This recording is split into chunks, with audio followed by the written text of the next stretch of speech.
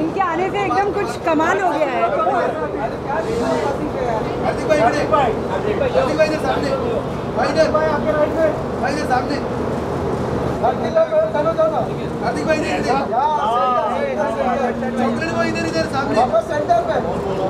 Centre में कार्तिक भाई में इधर इधर हार्दिक भाई कार्तिक भाई भाई थोड़ा इधर तरफ़ लगे रेखा जी यहाँ पर कार्तिक भाई। यहाँ पे सामने। कार्तिक भाई।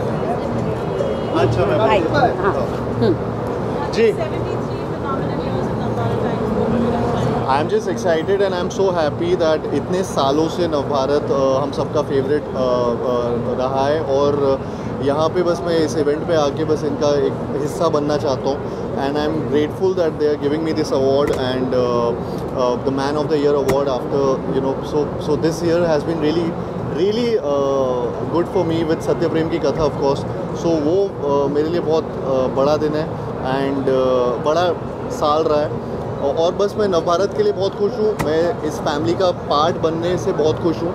और so thank you to the entire team of Navbharat. Thank you Rekha ji for always being there she is really been there throughout my journey so I am I am grateful to her to the entire team so thank you मैं ये कहना चाहूँगी कि कार्तिक जो हैं self made actor हैं, अपने बलबूते पे आते हैं।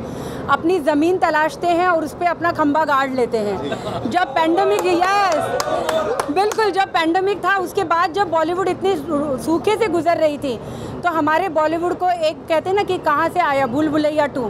तो एक बोलते हैं ना जो एक ट्रांसफॉर्मेशन एक इंडस्ट्री को जो उम्मीद की किरण और आज हम हिट फ़िल्मों की बात कर रहे हैं तो उसका पूरा श्रेय कार्तिक को जाता है आई एम सो हैप्पी क्योंकि वो मेरे बहुत प्रिय हैं। I am so happy man of the year Thank you,